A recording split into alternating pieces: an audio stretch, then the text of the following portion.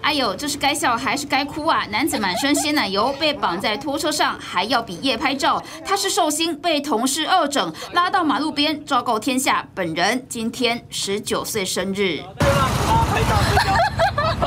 寿星满脸被涂刮胡泡跟奶油，坐在转角五分钟，引来路人侧目。七月十二号傍晚，高雄男子区家人路附近饮料店的员工帮同事补过生日，对寿星真的没在手软，绑在推车上，路边大开玩笑，拿刮胡泡，然后拿胶带把他绑在椅子上，刮胡泡砸在他脸上，嗯，然后把他拖到路边。我觉得蛮开心的吧，嗯，对。啊，假如换做你的话嘞？